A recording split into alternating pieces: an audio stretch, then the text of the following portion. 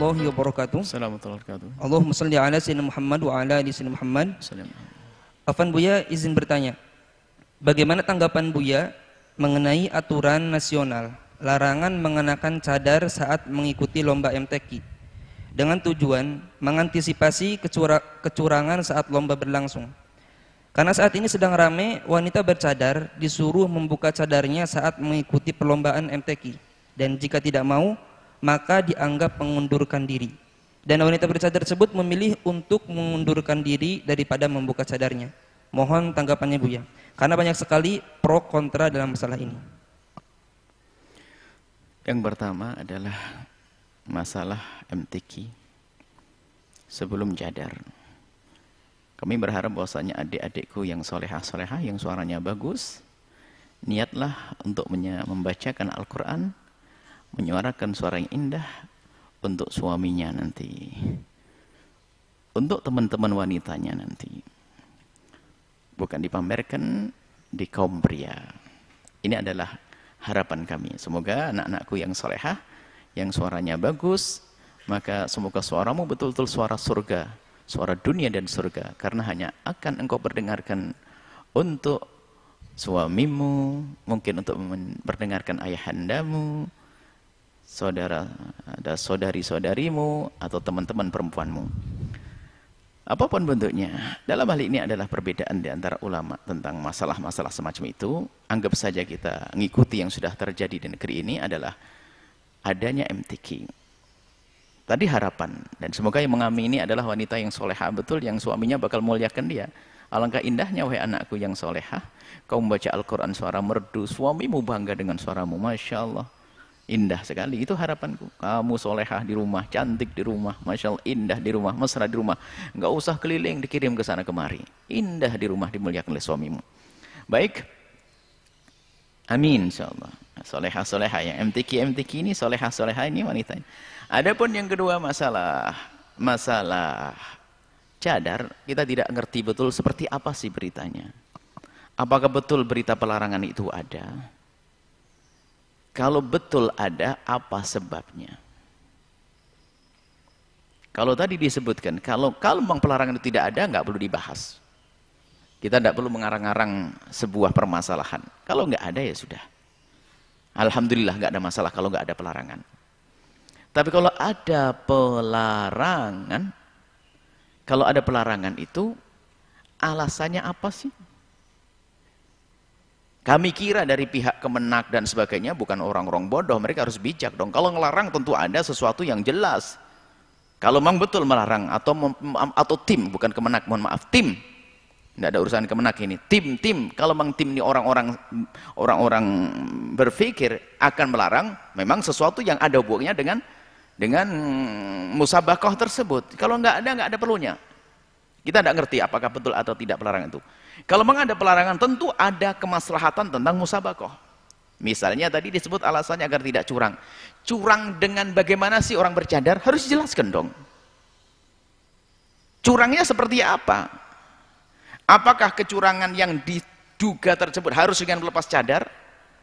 Atau tetap dengan cadarnya masih bisa? Kalau masih dengan cadarnya kecurangan tersebut bisa diantisipasi, ya nggak perlu dong pakai aturan-aturan. Kita kan harus cerdas juga. Wong ada orang ingin beragama yang lebih ingin menjaga, kok masih kita bongkar-bongkar mukanya? Kenapa?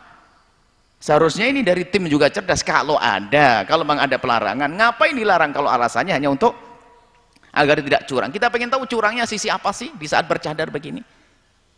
Kalau memang mungkin sebelum sebelum sebelum sebelum membacakan ayat Al-Quran mungkin sudah dicek dicek oleh tim wanita melihat tidak ada apa-apanya di dalamnya. Saya tidak paham betul kecurangan dari sisi apa sih?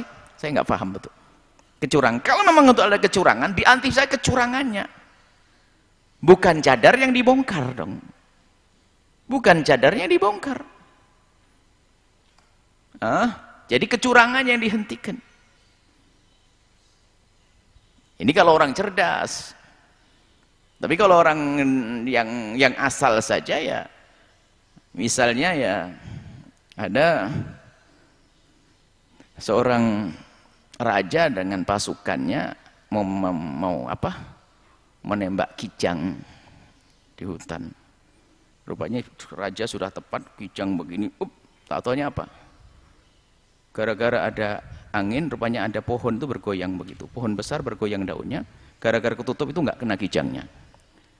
Ini kan pasukan yang nggak cerdas, marah sama pohonnya, ditebangi pohonnya semuanya. Lah ini, ini ya nggak harus begitulah. Nggak harus marah ke tempat yang salah. Tapi kita tidak ngerti. Saya kira ini nggak ada pelarangan semacam itu.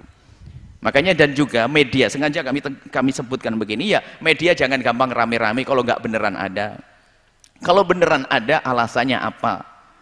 Kayaknya sih nggak nggak kalau hanya sekedar kecurangannya misalnya uh, mungkin ada alat-alat yang bisa disisipkan di ini mungkin ya ini tinggal diperiksa saja sebelum masuk. Jadi tolonglah hal-hal urusan agama ini agama loh masalah cadar urusan agama. Di dalam ulama kita berbeda pendapat yang tidak berjadar insya Allah solehah ahli surga. Yang berjadar adalah tentunya dia adalah lebih aman bagi kita sebagai kaum pria karena tidak melihat wajahnya. Jujur aman. Kita tidak pernah melihat bentuk apa bibirnya, hidungnya, mata aman. Itu lebih aman bagi kaum pria. Tentunya itu hal yang lebih bagus kok.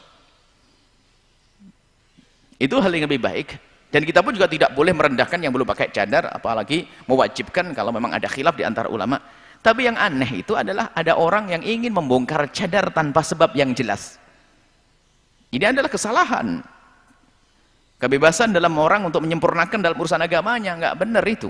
Kalau benar, tapi ingat ini semua adalah berandai-andai semuanya. Harapan kami adalah bahwasanya tidak ada pelarangan. Kalau ada pelarangan jelas dan memang membahayakan dengan urusannya musabakoh dan jelas bukan hanya dugaan-dugaan sebab kalau menggunakan cadar maslahatnya jelas menggunakan cadar maslahatnya jelas dan harapan kami juga adik-adikku yang salehah kamu sudah hebat dengan cadarmu maka lebih hebat lagi jika jika engkau ternyata juga lebih menjaga suaramu. Insya Allah semoga kau menjadi ahli surga semuanya. Dan tim-tim panitia kami kami juga uh, khusnudon bahwasanya.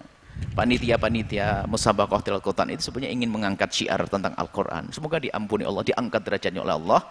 Akan tapi tidak ada salahnya kalau kami mengharapkan yang lebih istimewa musabaqah bukan sekedar membaca Al-Quran bagaimana penerapan tentang akhlak Al-Quran amal-amal Al-Quran tentang ilmu muhammad Al-Quran memang di dalamnya ada tafsir dan sebagainya Alhamdulillah insya Allah itu bermanfaat hanya di saat ada hal-hal kayak begini ini, pertanyaan macam ini ya kita nggak menduga ada dengan sesungguhnya. Barangkali itu hanya sekedar. Yang namanya media sekarang kan gampang, isu diangkat ruame padahal nggak ada apa-apanya. Maka kami ucapkan kepada tim tim MTQ kami mohon maaf jika salah yang kami sampaikan. Jika ternyata tidak ada, yang salah yang bertanya. Jika ternyata ada, kami mohon Anda harus benar-benar menampakkan kalau Anda adalah orang yang cerdas, Anda orang pinter, Anda orang ngerti, jangan melarang sesuatu yang tidak jelas. Itu yang harapan kami. Sehingga semua akan selamat dan semua akan baik. Ini saja. Wallahu a'lam bishawab.